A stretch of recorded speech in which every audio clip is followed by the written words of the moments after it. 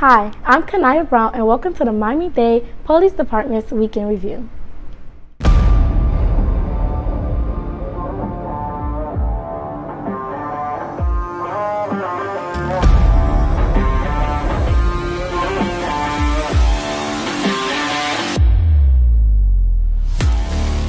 Monday was the start of our Police Explorer Academy. This program helps explorers gain a better understanding of a career in law enforcement. The Academy will instill teamwork, build self esteem, and help develop a positive attitude and leadership skills. I'm one of the lead training advisors here at the 2023 Police Explorer Academy. Some of the topics we're going to be covering over the next three weeks are physical training, traffic stop, officer safety, responding to calls, and more.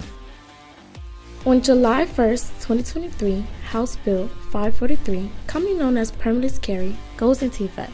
This bill authorizes certain qualifying individuals to carry a concealed weapon or firearm in Florida without a concealed weapons or firearms license. The Miami-Dade Police Department wants you to be educated and informed. Head over to our social media channels to learn the facts. Officers from our Community Affairs Bureau are having a great time this summer. Our 2023 Every Kid Needs a Pal summer camp is in full swing. This program was established to continue having a positive effect on our children through educational and recreational programs. MDPD's PAL officers will cover topics such as gang resistance, drug awareness, bullying, and peer pressure. Well, this is PAL's Summer Camp Initiative, which is a partnership with Miami-Dade Police Department and Parks and Recs, where we go through several parks throughout Miami-Dade County and interact with the children.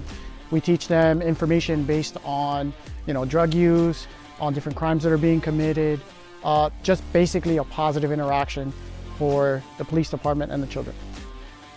On behalf of the Miami-Dade Police Department, we would like to wish all the special dads a happy Father's Day. Thank you for watching and see you next week.